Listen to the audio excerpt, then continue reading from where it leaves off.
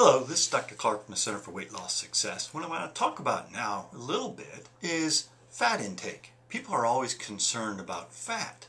Well, in a low carbohydrate diet, you need to be you need to get over that fear of fat. We do stress getting your protein in, but the calories have to come from somewhere, even on a fairly low calorie diet. If you cut back on carbohydrate, then the calories ought to come mainly from fat. And that initially sounds like blasphemy, but it actually works pretty well. The fat in our diet does not affect the hormones that affect your weight. The protein and the carbohydrate do affect hormones that affect weight.